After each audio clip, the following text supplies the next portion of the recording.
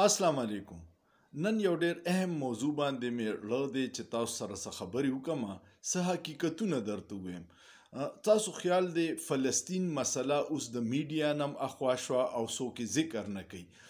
فلسطین کې دی وخت کې 29 هزار فلسطینیان شهیدان شو چې په کم کې ګڼ تعداد د ماشومان او د زنانو دی او بل طرف ته د اسرایل صرف 1200 کسان مړ شوی دي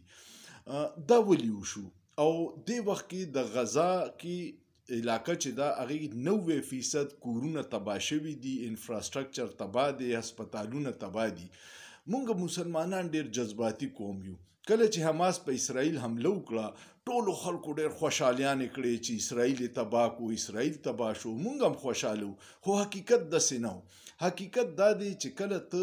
سو پورې طاقتور شوی نه نو د دشمن مقابله بنه کې اسرائیل یو خو ټکنالوژي د ورسره وسایل دی بیا پوره مغرب ورسره ولاړ دی د مسلمان فلسطین سره څوک ولاړ دی تش جمع خرچ دی چې مزمت کو نور څوک خواله نه دی ورغلی کلګ ډیر امداد ورلیګلی دای مثال داسې دی چې یو سړی مري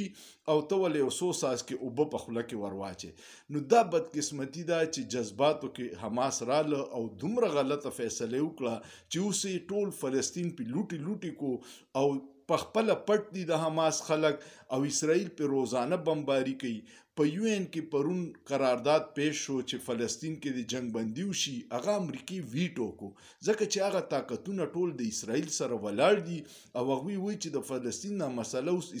حماس غلطي کړې راشي دا غلطي ورله سر باندې وروتپو او بالکل ختم کو نو بدقسمتي دا ده چې موږ مسلمانان جذباتي قوم یو سوچ پې نه کوو میدان ته وردانګو او بیا چې مو اوټه کوي نو بیا ګیله کوو چې انسانیت همدردي راته رایه شي مسلمانان تقسیم دي او د مغرب قوتونه متحد دي دغه وجه دا چې د مسلمان د فلسطینی د پاره هیڅ څوک اواز نه چوتي پچپن اسلامي ملکونه دي د وسایلو نه مالامال دي اټمي قوت ورسره دی خو هیڅ نشي کولی ځکه چې مونږ ټول د مغرب محتاج یو او آلایکار یو نو دی غلطه د وجې فلسطینیان اوس تبا دي زنانه او ماشومان پکې ډېر په ګڼ شمېر سره متاثر دي